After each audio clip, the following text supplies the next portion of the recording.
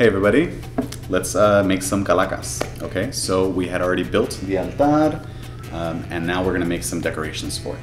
So, um, obviously the calaca is a huge symbol for Day of the Dead. Skulls are everywhere during Day of the Dead, so I've got this one here that we can sort of model ourselves on. And some of my colleagues have made little skulls and stuff earlier that we can sort of show you how hopefully yours will turn out, okay?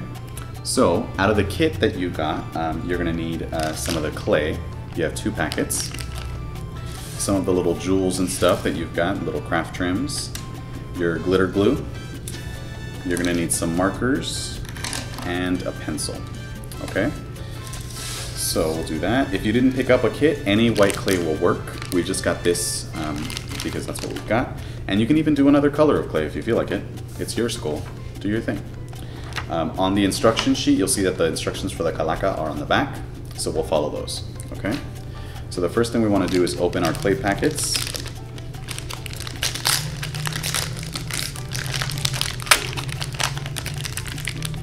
Should have done this before, huh? We've got one piece of clay there. I'll put that to the side. Another lump of clay. And so we gave you two packets so that you could choose whether you want to make a big skull, a big calaca, or two smaller calacas, or maybe even four teeny tiny calacas. I'm gonna put these two together to make a big one, just so that it's a little easier to see on camera. This you wanna manipulate a little bit in your hands, squeeze it around a little bit so it starts to warm up and soften up. And then once you've got it nice and soft and warm, we're gonna start to form the actual skull, okay? The reason that skulls are such a big part of Dia de los Muertos is because originally the goddess of death presided over all of the festivities. Dia de los Muertos has been celebrated for over 3,000 years. And so in the time of the Mexica, the Aztecs, their goddess of death, Mictecacihuatl, was actually the one that presided over the festivities. And since she was the goddess of death and her image was a skull, now we have calacas and skulls all over the place for Day of the Dead. So I've got this nice and soft and warm, and now you're gonna use your hands to roll it into a ball.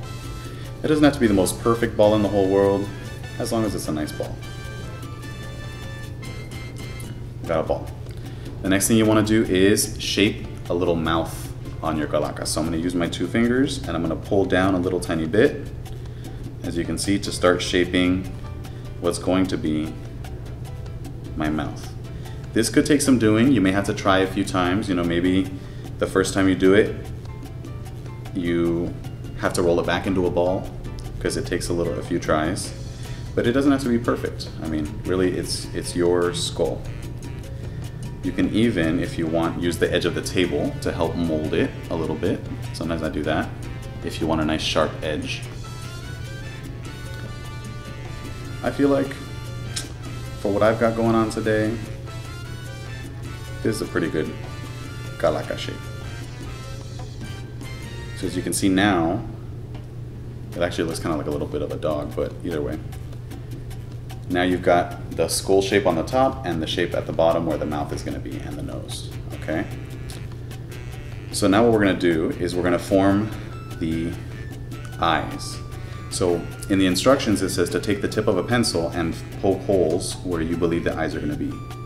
You may have to rotate the pencil like this a tiny bit to make the holes of the eyes a little bit bigger because obviously just a little in, uh, the eraser end isn't going to be big enough to where you actually have eyes. But as you can see, with a little bit of manipulation and a little bit of rotation, you actually end up with some pretty good eye holes in this calaca.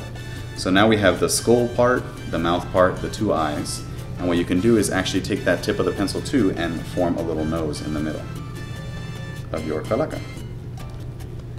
If you need a little bit of a sharper point, you can take the tip of the pencil to try to shape that a little bit into more of a triangle and then just use the other, the eraser end to sort of smooth it out. So now we have a little triangle in the middle there for the nose, some eyes, and then you can take the very tip of the pencil and if you want, trace some lines across here to form some teeth. Because every school has teeth, right? So I just did two lines across, some lines down, and then another line in the middle there to form some teeth. Take your time with this too the clay is going to be pliable for a long time. So, you know, if, if you're not happy with how it turned out, smooth it out, ball it up again, and then start over. It's not a big deal.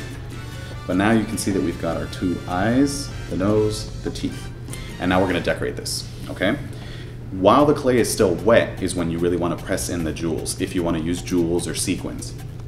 Um, and then we're gonna let it dry, and then after that we'll use markers and the glitter glue to decorate it, okay? So I'm gonna take these two blue jewels, because they're both round, and I'm gonna put them over the eyes and press them in a tiny little bit so that the clay catches them. Press them in a tiny little bit so that the clay catches them. Try not to ruin the, the work you've done with the nose. But as you can see now I've got these two cool jewel eyes. I'm gonna take this other red jewel, it's a square, and I'm gonna put it at the very top of the calaca to give it a little bit of something on its forehead. And now, we're pretty much there. Normally I would let this dry for 24 hours before I tried to decorate it with markers or with glitter glue, but because we're shooting a little video today, it's not a big deal. Next up, I'm gonna take a marker, and I think I'm gonna draw some little designs. I want a little bit of a, you know, thing here along the, the sort of cheekbone of my calaca. I'm gonna do the same thing on the other side. So as you can see, I've just got a little bit of a line there. Maybe I will take my green marker, because I don't have any green on here yet, and draw a little bit of something around the nose, maybe some dots, you know? This is really where you get to be as creative as you want. So I've got some dots around my nose. Maybe you want to take um, a marker and actually do the lines for your teeth. So now that we've got them in there, we can actually take a marker and really make them jump out. You know, and this part you want to be kind of careful because once you make the marker marks, there's not really any taking them back. But you know, I've got little teeth now in there. Maybe my calaca could have gone to the dentist a few more times in his life. Who knows? But now you've got this. And then now, to add a little bit of glitz, I'm gonna take my glitter glue, and maybe I'm gonna put a little bit of glue, I don't know, maybe I'm gonna put it on one tooth, you know? Maybe he got a little grill. And maybe I'll do some little tracing here around the top jewel to finish him off. So I've got a little calaca there. You're gonna let that dry for 24 hours, and then it's gonna be ready to place on your altar. Okay?